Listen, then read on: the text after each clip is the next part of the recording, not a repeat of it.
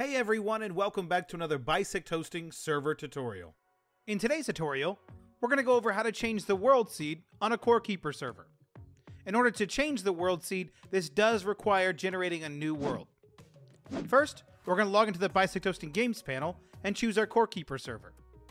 Next, we're going to choose the red Stop button to stop the server.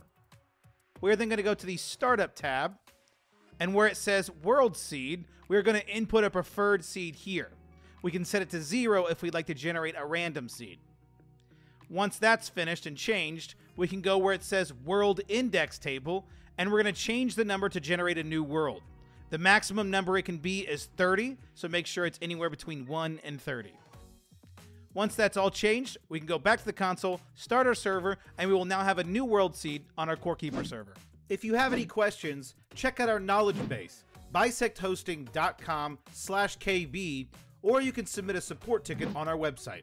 If this guide was helpful, make sure you hit that like button, subscribe for more content like this, comment down below which guide you would like to see next, and we'll see you around.